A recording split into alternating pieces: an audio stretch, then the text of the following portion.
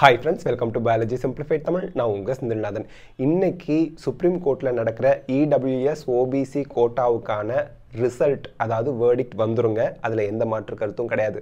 அதில் ஒருவேளை வேர்டிக்ட் இன்னைக்கு வரலனா அதுக்கு லாயர்ஸ் தான் காரணம் அப்படின்னு ஜஸ்டிஸ் சொல்லிட்டாரு. சீஃப் ஜஸ்டிஸ் ஆஃப் இந்தியா சொல்லிட்டாரு. இப்போ வந்து பார்த்தீங்க அப்படின்னா இந்த கேஸில் லேட்டஸ்ட் அப்டேட் வந்து பார்த்தீங்க அப்படின்னா VK Baiju even in court I'm EWS இவர் வந்து ஒரு லாயர் ஓகேங்களா from Kerala because I am getting few minutes to argue so இவருக்கு வந்து ஆர்கியூமெண்ட்டுக்கு டைம் கொடுக்கலையா இந்த இடபிள்யூஎஸ் கோட்டா அண்ட் ஓபிசி கோட்டாவுக்கு ஸோ எனக்கு வந்து கொஞ்சம் டைம் கொடுத்ததுனால இந்த கோர்ட்டில் நான் வந்து இடபிள்யூஎஸ் எக்கனாமிக்கலி வீக்கர் செக்ஷனுக்கு ஈக்குவலாக இருக்கேன் அப்படிங்கிறாரு. அதுக்கு ஜஸ்டிஸ் சந்திரஜோதி என்ன சொல்லியிருக்கிறாருன்னா எக்ஸப்ஷன் டு திஸ் ரிமார்க் இந்த ரிமார்க்லாம் அக்செப்ட் பண்ணிக்க முடியாது.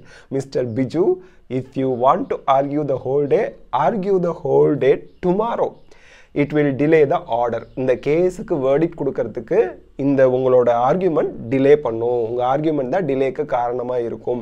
You have to take responsibility நீங்கள் தான் ரெஸ்பான்சிபிலிட்டி எடுத்துக்கணும் அப்படின்னு சொல்லிட்டாரு.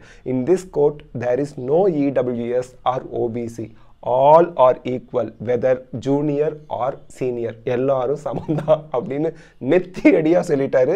சீஃப் ஜஸ்டிஸ் சந்திரசோத் ஓகே இப்போ வந்து பார்த்தீங்க அப்படின்னா விகே பைஜு பிஜு என்ன சொல்கிறாருன்னா we are pained by your lordships order questioning EWS economically weaker செக்ஷனுக்கு நீங்கள் கொஷின் கேட்குறீங்க இல்லையா? கொஷின் பண்ணுறீங்க இல்லையா? அது எங்களுக்கு கஷ்டத்தை ஏற்படுத்தியிருக்கு அப்படிங்கிறாரு.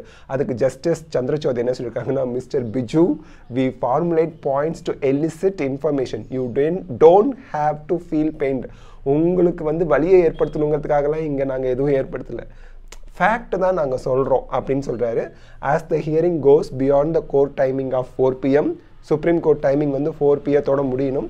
ஜஸ்டிஸ் சந்திரசோத் சேஸ் அவர் தான் ஜட்ஜுங்க we are wrapping up the hearing today we don't want to keep it for tomorrow bench now hears few interveners அப்படின்னு சொல்லிட்டாரு. சில இன்டர்வீனர்ஸ் um, வாதிடுவாங்க இல்லையா? அவங்கக்கிட்ட எதிர்த்தரப்பு வாதம் அப்படிலாம் சொல்கிறாங்க இல்லையா?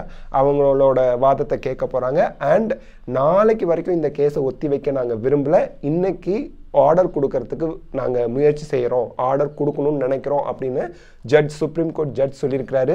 ஒருவேளை இன்னைக்கு கேஸில் ஆர்டர் வராமல் போணுச்சுன்னு வச்சுங்களேன் அதுக்கு காரணம் விகே பிஜுவாக இருக்கிறதுக்கான வாய்ப்புகள் அதிகமாக இருக்குது அப்படின்னு ரெஸ்பான்சிபிலிட்டி நீங்கள் தான் சீஃப் ஜஸ்டிஸ் சந்திரசோத் சொல்லியிருக்கிறாருங்க. நான் சொல்லலை. அவர் சொல்லியிருக்கிறாரு. பாருங்கள் லைன்ஸ் அவங்களோட ஆர்கியூமெண்ட் கோர்ட்டில் நடக்கிற ஆர்கியூமெண்ட் தான் இங்கே வந்துக்கிட்டு இருக்கு. ஓகேங்களா ஸோ தட் பார்ப்போம். இன்னைக்கு வேர்டிக்ட் வந்துடும் கோர்ட் டைமை தாண்டி கேஸ் நடந்துக்கிட்டு இருக்கு. வேர்டிக்ட் வந்ததும் ஆர்டர் வந்ததும் நான் நம்ம சேனலில் உங்களுக்கு அப்லோட் பண்ணுறேங்க என்ன சொல்லியிருக்காங்க அப்படின்னு. கண்டிப்பாக இன்னைக்கு தீர்ப்பு வரதுக்கான வாய்ப்புகள் அதிகமாக இருக்குது ஸோ இந்த வீடியோ உங்களுக்கு ஹெல்ப்ஃபுல்லாக இருக்கா? லைக் ஷேர் கமெண்ட் பண்ணுங்கள் பயாலஜி சிம்பிளிஃபைட் தமிழ் சேனலுக்கு சப்ஸ்கிரைப் பண்ணுங்கள் because your support is our strength thank you